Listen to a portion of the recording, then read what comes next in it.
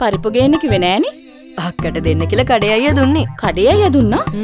බොරු අම්මේ දැන් රසපදම එක්ක පරිප්පු දෙසියකුත් හම්බෙනවනේ ඕ පරිප්පු ග්‍රෑම් දෙසීයක් නොමිලේ වඩු මල්ලට ලැබෙන මේ සුප්‍රිවාසිය මතක ඇතුව මුදලාලිගෙන් නිලගන්න.